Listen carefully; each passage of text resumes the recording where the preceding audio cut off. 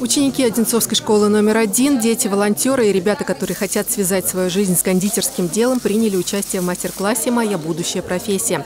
Его организовали сторонники партии «Единая Россия», окружные депутаты и благотворительный фонд «Счастье жизни». Ребят учили созданию фигурок из шоколада и приготовлению кофе, а еще угощали заранее приготовленными сладостями. Детки узнают всю историю кофейных традиций в Российской Федерации, плюс детки узнают о том, как организовать собственный бизнес, все специалисты им ответят на эти вопросы. Профессиональные баристы показали ребятам, как правильно варить кофе, а затем школьники сами принимали заказы от одноклассников и пробовали себя в профессии под руководством опытных наставников. Как только она начала как бумага рваться, поворачиваешь чуть хоп, и левой рукой снизу контролируешь температуру. Когда чувствуешь, что уже рука не терпит, значит молоко уже готово. Здесь же кондитеры учили, как правильно растопить и размешать шоколад. За процессом с интересом наблюдала и девятиклассница Екатерина Рудковская. Для нее это не новое увлечение, а хобби и, возможно, будущая профессия.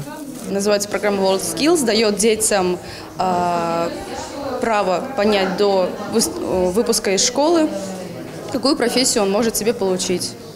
В ходе этой программы я и поняла, что мне нравится кондитерство. По этой программе Екатерина обучается в Краснознаменском колледже на бюджетной основе, совмещает с учебой в школе и волонтерством. Девочка участвовала в конкурсе программы World Skills и из 18 опытных кондитеров заняла восьмое место. В завершении мастер-класса ребятам также рассказали о возможностях ведения собственного бизнеса. Ольга Дмитриева, Фарид Харидинов, телекомпания «Одинцова».